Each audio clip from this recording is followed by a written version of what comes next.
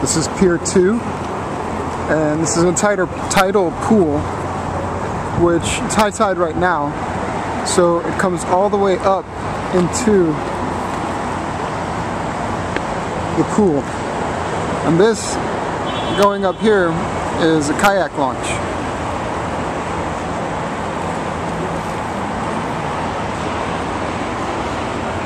In future phases, there will be a 30 foot, foot tall mound.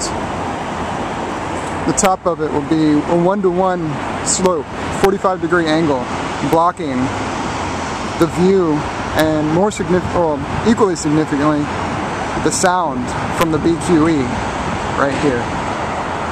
So it's projected to decrease the sound level by seven decibels where the group is standing right right now and should make this a really nice place to be and just to to hang out and exist.